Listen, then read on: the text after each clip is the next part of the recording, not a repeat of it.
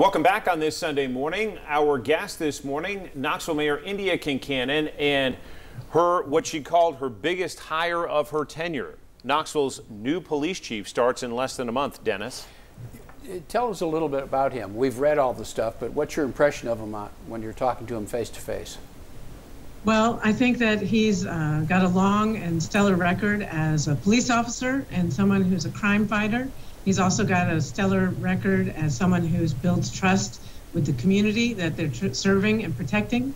Um, and he's he's great at working with the political side of things, with mayors and councils, and, and helping get grants from uh, the Justice Department, and and on the cutting edge of 21st century policing. So all the things that we need in a police chief here in Knoxville, he's already got an excellent track record, and, and I'm really excited to be appointing Paul Noel as our next police chief. He'll be sworn in June 13th. Good. Um, I'd like to talk a little bit about downtown development, which is booming, uh, and I'm sure that's something you're happy about. I was just looking at um, one of the blogs this week. We've got 428 South Gay, 304 South Gay, uh, Hatcher Hill at South Gay and Summit, 350 South Gay, and 2011 or 211 Jessamine Street. What what's happening? I mean, what do you how you can explain this? I mean, I'm thrilled. When I first had an office yeah. downtown in 1996, we had to get in the car to go somewhere to eat lunch, and now it's amazing what has happened.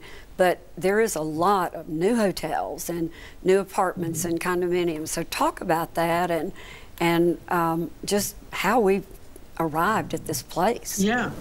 Well, I, I, I, think it's a credit to my predecessors, uh, Bill Haslam and Madeline Rogero, and, and we've had uh, a great great leadership, and I'm really pleased that we're building on that momentum. I mean, people want to be in our city.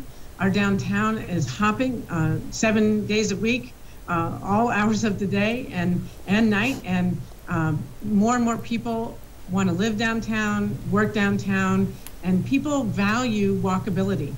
Uh, they have had traveled to other cities and they're like, I want this in Knoxville. And when people want it, then the business community responds. So people understand that there's uh, uh, it's a good, good investment to create hotels, to create condos and apartments, and to serve the people who are living and, and visiting Knoxville. So uh, I'm ex- I'm thrilled. Uh, I think that it's a nice problem to have is, is the challenges of growth, but but we are also encouraging uh, developers when they come to the city for help and assistance to include workforce housing in, in their development projects. And, and that's a, a, a new and I think a really positive thing because um, we need to make sure there's affordable housing as well as uh, market market rate housing. So it's a, it's a lot of good things happening. I think the stadium project is going to continue to catalyze investment in our city. And the good news, it's also spreading to beyond downtown. We see really positive things happening in, in West Knoxville and East Knoxville, uh, North Knoxville, Happy Holler, and of course South Knoxville with the, the urban wilderness and, and Sevier Avenue uh, is also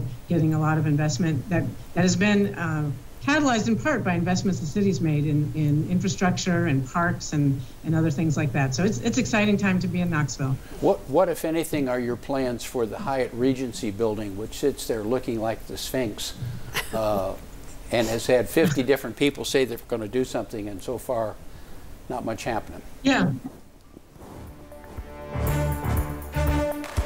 The current ones or future ones, um, you know, it's not something the city owns. We certainly uh, care about that property and think there's a lot of opportunity. Uh, and perhaps, you know, we, we plan to be moving the police department into their new headquarters at the St. Mary's complex uh, later this calendar year. And when that happens, I'm hopeful that uh, Mr. Clayton will be able to move forward with the Science Museum, which is near that old Hyatt, and that might be an impetus to redevelopment of that property as well. For our viewers who don't know, what we're talking about this, this stair step hotel that really overlooks downtown. Um, and Mayor, you mentioned the stadium project. For our viewers who have been tracking that closely, what are the next iterations that you think the public will notice in, in the development of that stadium project? Well, the, the good news is that we're going to be moving forward with uh, infrastructure uh, in and around the project, you know, that the public will notice because there'll be some street closures to deal with uh, stormwater and, and other things underneath the streets, uh, utility lines and so forth. And so then we'll have, uh, get all that underground work done, patch it back together, and then uh, we hope soon that the, the private end of the developments will, will be able to move forward and, and break ground on the stadium itself and, and some of the ancillary developments, the uh, residential and commercial. The good news is it's moving forward. Um, it's going to be mixed use. It's going to be a great um, asset to a part of town that hasn't got a lot of investment in, in the last 50 years. So um, nobody's being displaced, and, and it's going to be, um, I think it's going to be fantastic. We hope to be able to finish the stadium um, by 2024 and in time for the 2025 baseball season when the Knoxville Smokies, and I said the Knoxville Smokies, they're going to be changing their name, will be coming back to town. It's, it's going to be great. And for, for the money folks, uh, Mayor, we know it's close to an $80 million public investment, city, county wise, with backed bonds um, from the public. What do you think is the return from your perspective on that $80 million investment? We expect it to be at least $480 million return, and that's a pretty good return on investment. And, and I think it's going to also create a lot of good jobs. And, and those are um, I think those invest, uh, estimates are on the low end. I think Knoxville's just um, a lot of people want to move here, and as they see the the city and the county and the state making these investments, they're going to be like, oh, this this is a place where the public sector is putting the money in to create a place where people want to live and have a high quality of life, and that will attract more jobs. That will attract more young people to uh, stay here after they finish their college education, uh, and it's just a very virtuous circle. You were at the Leadership Knoxville luncheon this past week and heard from the mayor of Greenville, South Carolina, uh, who put a baseball stadium downtown. One of the things that he talked about that impressed me a lot was the affordable housing. We obviously have a shortage of it here. They did add some affordable housing near the baseball stadium, and a lot of um, apartments that over literally overlook mm -hmm. the stadium. So, do we have any affordable housing plan for that area around the stadium? Yeah, well, the good news is, unlike Greenville, we put the affordable housing in first and the stadium second because housing is really essential. So uh, we just opened up the first phase of First Creek in Austin. It's the transformation of Austin Homes.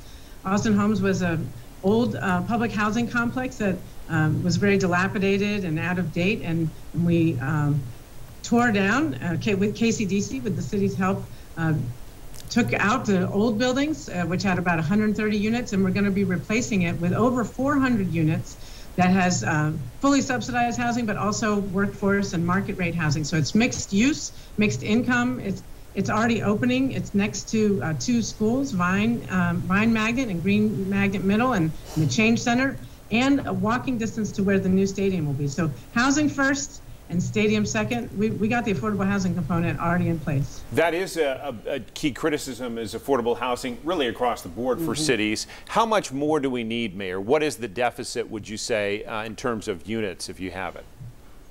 Well, I don't know an exact number of units, but a lot more. And I, am proud to say that this budget, in addition to uh, addressing core services and, and the compensation plan for city, uh, employees and city services contains $10 million local dollars towards affordable housing. So if we can continue to invest in finan- you know, financing gap uh, things from the city and, and get the county and, and state to contribute to that as well. Um, that that is one way to uh, move forward. We've we've opened up hundreds of affordable housing units since I've been mayor, and, and more are coming down the line, but but more are needed. So we just need to conti- continue to invest on that, and I really appreciate all the support of the financial community um, and the people from Justice Knox who are who are continuing to work in partnership on those issues. We're going to pick up on some other topics when we come back on Inside Tennessee with Knoxville Mayor Indya Kincannon. Stay with us. We'll be right back.